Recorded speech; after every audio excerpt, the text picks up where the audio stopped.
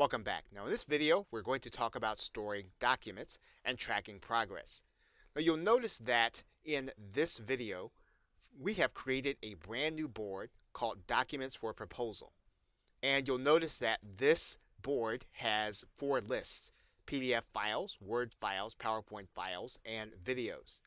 Now, Trello is not necessarily made for uploading documents for download. However, there is no limit on the number of documents that you can upload as long as they are under the 10 megabyte storage limit per document.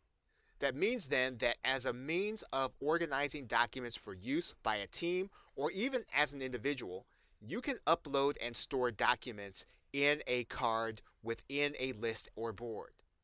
So you'll notice that we have uploaded a number of documents to this particular board. For example, you'll see that there are 19 PDFs.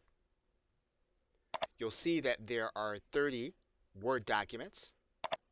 And you'll see that there's one PowerPoint presentation file as well as 11 additional MP3 files. The advantage of this is that the search feature will actually look for the documents by name. For example, one of the documents is named Get More Communication. We type that phrase into the search and then we can find out where that document is on a particular card.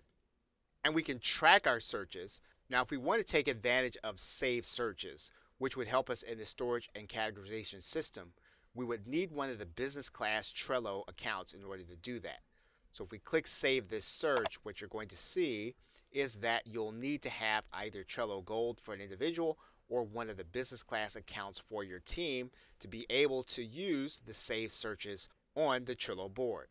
Again, typically you'd want to do storage in a location such as Google Drive or OneDrive or Box, but you can, on a limited basis, upload documents depending on your account status to Trello.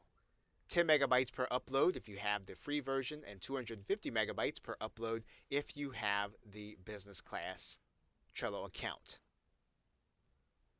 Okay, so with that, thanks, and I will see you in another video.